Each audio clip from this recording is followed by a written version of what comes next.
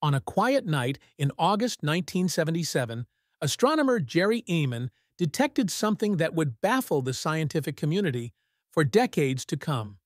While reviewing data from Ohio State University's Big Ear Radio Telescope, Ehman spotted a signal so unusual that he circled it and wrote WOW in the margin of the printout.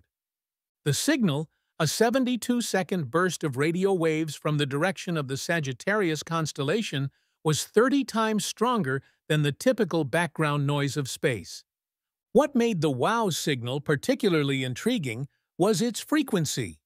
1420 MHz, precisely the frequency that hydrogen naturally emits in space.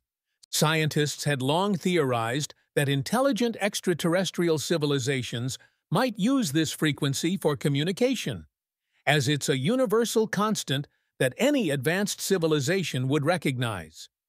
Despite numerous attempts over the following decades, astronomers have never again detected the same signal, adding to its mystique. In 2017, Antonio Paris, an astronomer from St. Petersburg College, proposed that the signal may have originated from hydrogen clouds surrounding comets in our own solar system. However, many scientists remain unconvinced by this explanation, pointing out inconsistencies with the comet theory and maintaining that the signal's characteristics remain difficult to explain through natural phenomena.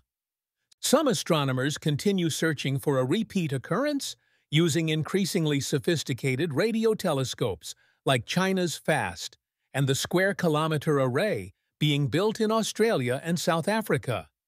Whether the WOW signal was a message from an alien civilization, an unknown natural phenomenon, or something else entirely, it remains one of astronomy's most tantalizing mysteries.